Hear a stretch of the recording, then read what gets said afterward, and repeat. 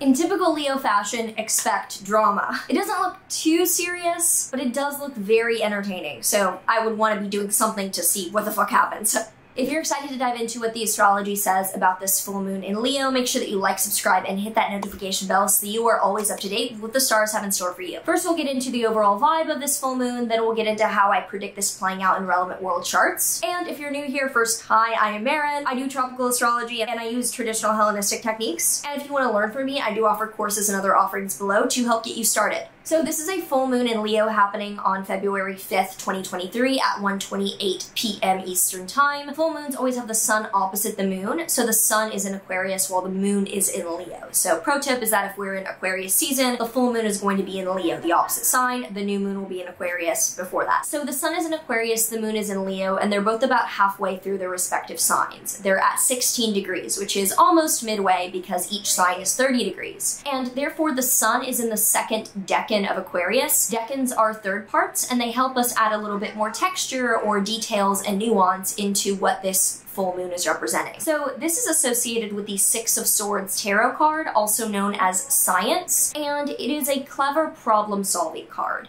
It shows someone is crossing a river, he's on a little boat, so it's about getting from one point to another and having the correct problem-solving method to do so. So this is a card that shows clarity or things finally making sense on the next course of action. And the sun is already representing mentality or the intellectual side of this full moon, so it looks like intellectually we are realizing how to get from point A to point B and solve a particular problem. Now, the moon is therefore in the opposite part of the zodiac in the second decan of Leo, which is associated with the Six of Wands tarot card called the Lord of Triumph, and it represents a victory. Now, it's not the victory of the end of it all, it's more of the victory of one chapter or getting to like, okay, we made it to mile one, congrats. So the fear of this can be that you become complacent and you're like, oh, I did it, yay, we're done. Also that a little bit of power can give you a lot of pride. So there are pros and cons to this, but overall seems to be a full moon with themes of intellectually realizing that we're solving a problem, we have a solution, and emotionally feeling very gratified that we are on the way to that goal, even if we've already done a small part. Now, this is squaring Uranus within one degree. Uranus Uranus is at 15 degrees of Taurus and it is the planet of disruption, chaos, volatility, and can be quite sudden. So there's a lot of electricity in this full moon. Full moons are already times of peak drama or things being revealed, and a square to Uranus exacerbates this with a very sudden, very groundbreaking quality. It might be out of nowhere, where we're solving a problem, we're needing to get to the bottom of an issue, and suddenly things come to light and are quite disruptive in our life. On the bright side, it can be very electric or exciting,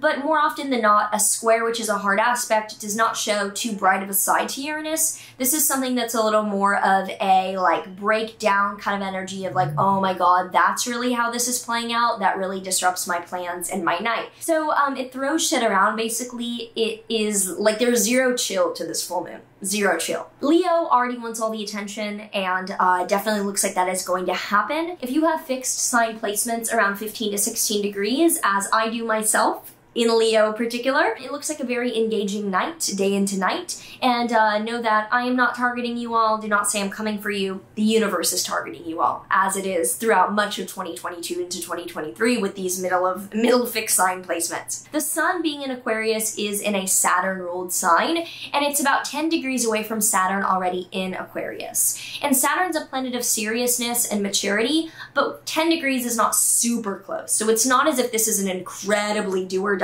full moon. It looks more like petty drama, like, okay, this is really disruptive, but it's not do or die and it's not the end of the world. It is not an eclipse. It's just like entertaining story time type shit. Luckily, Venus is exalted in Pisces right now, and Venus being exalted shows that social harmony and getting along with others is present throughout this. However, it is squaring Mars within a degree. So Venus squaring Mars can be very friction oriented. It can be flirty, but it can also be just kind of on the surface, banterish that is a little more difficult. So it's not a rude chaos, it's more of a petty, gossipy chaos, because Venus in Pisces squaring Mars in Gemini is not like gut-wrenching chaos, it's more like, okay, you're petty fighting in the group chat. It's kind of interesting though, because Venus is squaring Mars within a degree, the Sun and Moon are squaring Uranus within a degree, and squares are around fighting in the same team, so fighting with your close friends or close family over petty shit is likely going to be the manifestation of this. Mercury is also conjunct Pluto in Capricorn,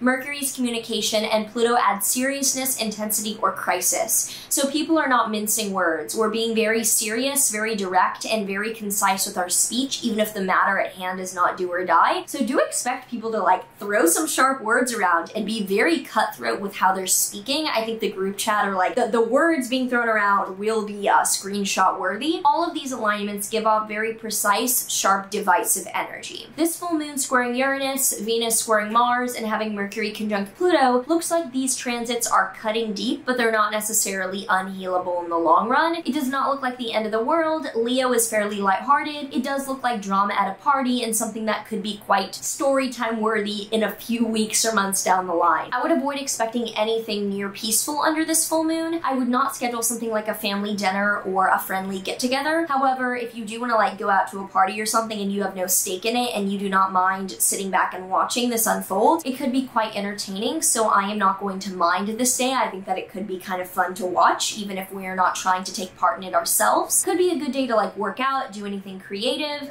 It could be quite an intense day if you're dating anyone or have to be around someone one-on-one. -on -one. It could be kind of hot, but like pretty toxic, so just beware. Not the end of the world though, and I would not be worried. I would be entertained.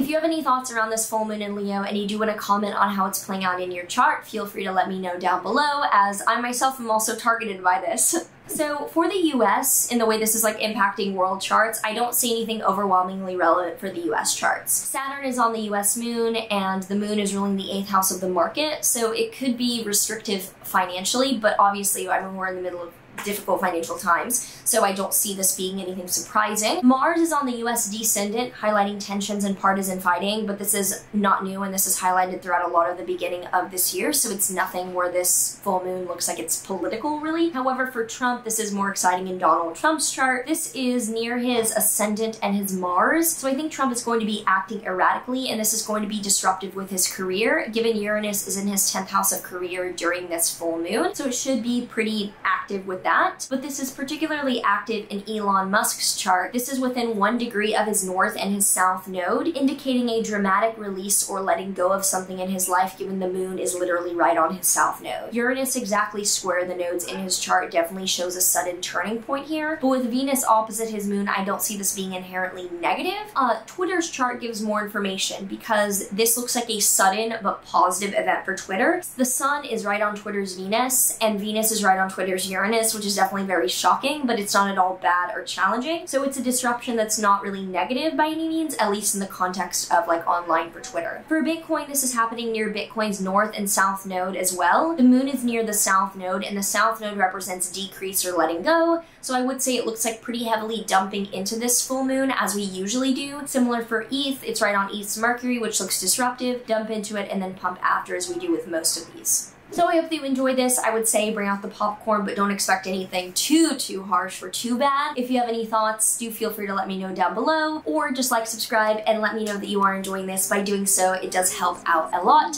I will see you in the next one. Take care.